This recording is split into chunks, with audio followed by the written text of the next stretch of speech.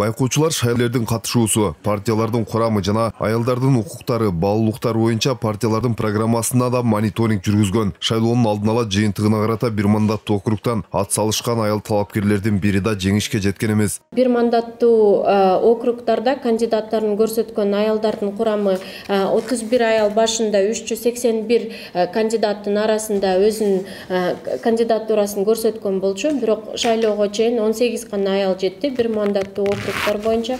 Ал эми партиялардын тизмесинде отуз алты пайыз азыркы жыйынтыктар боюнча жогорку кеңештин он сегиз пайызын гана аялдар түзө алат бул тууралуу социалдык технологиялар агенттигинин аткаруучу директору зульфия көчөрбаева билдирди. Анын айтымында шайлоо аралаш системада өткөндүктөн гендердик отуз пайыздык квотаны сактоо кыйынга турат Вначале распределяется 30%. Гендердік квота партияларға берілген 54 мандатқа ғана тиешелі. Мандаттарды бөліштіруді партиялар табиғи түрді гендердік талаптарды еске алышады. Партиялық мандаттардың саны бойынша да мәселе бар. Мысалы, бір партия 6 мандат алса, аялдарға бір ғана мандат беріліші мүмкін. Башқа партиядағы 6 мандатын бөліштіре алады. Ошентип аялдар үшін қаралған 30 пайыздық квотаны сақтау мәселесі құрчпойдон қалуда маалымат жыйынга чогулгандар добуш берүү жана шайлоонун жүрүшүндөгү мыйзам эреже бузуулар тууралуу да маалымат берди. Шайлоого байкоо салган таза шайлоо ассоциациясы эгил коомдук фонду жана социалдык технологиялар коомдук бирикмеси добуш берүү өнөктүгү айрым майда барат эреже бузууларды эске албаганда таза жана ачык айкын болгонун белгиледи. Бул көрүнүштөр шайлоонун жыйынтыгына таасир бербейт дейт байкоочулар.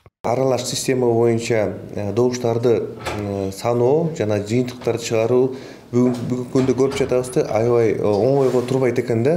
Мына кээ бир участкаларда мына дагы эле биз толук маалымат албай жатабыз да кандай жыйынтык чыккандыгы жөнүндө.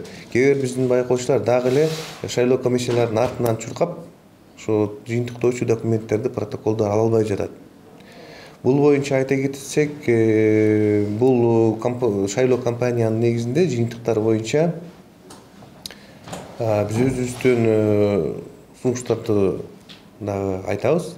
Маалымат жыйынынын катышуучулары шайлоону өткөн жок деп эсептөөгө негиз боло турган чоң мыйзам бузуу болбогонун белгиледи.